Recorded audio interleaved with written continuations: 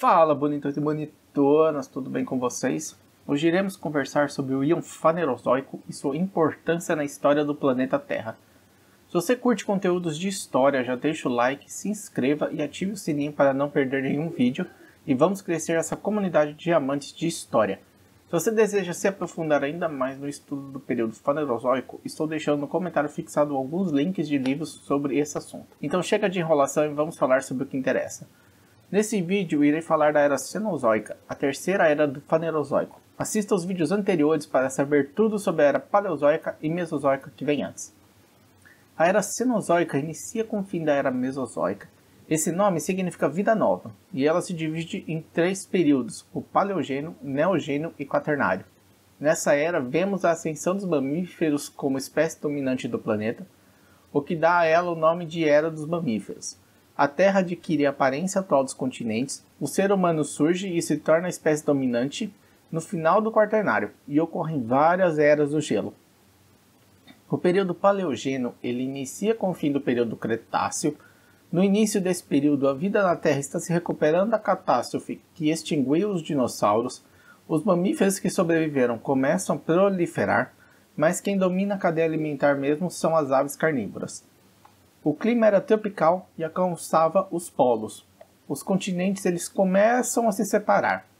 No meio desse período, o clima nos polos começa a mudar e se tornar mais frio, causando assim o seu congelamento, fazendo com que a vegetação nesses lugares assuma uma forma de tundra e taiga, o que extingue muitas das espécies que viviam nesses lugares. No final desse período, o clima se torna semelhante ao atual e a flora se torna semelhante ao que temos hoje. A fauna desse período, como um todo, se caracterizava por mamíferos primitivos e por aves carnívoras chamadas de aves do terror, que tomaram o lugar dos pterossauros que foram extintos. O período Neogeno ele inicia com o fim do período Paleogeno. Esse nome significa recém-nascido. As savanas e pastos se tornam muito comuns.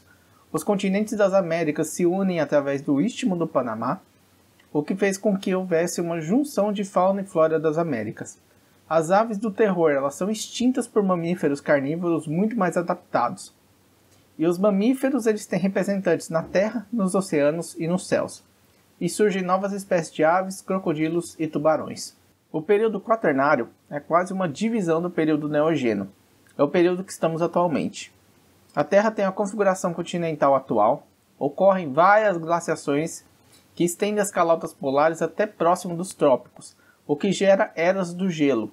Durante a intercalação dessas eras do gelo, o clima volta a ficar quente e surgem os animais modernos, como alce, raposa, lobo, gato, hiena, entre outros animais.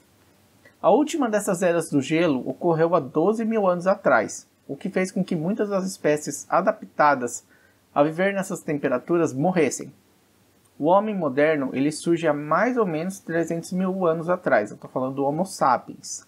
Mas a criação de comunidades e agricultura somente ocorreu há 13 mil anos atrás com o fim da última era do gelo, o que foi determinante para o crescimento das comunidades e desenvolvimento tecnológico moderno.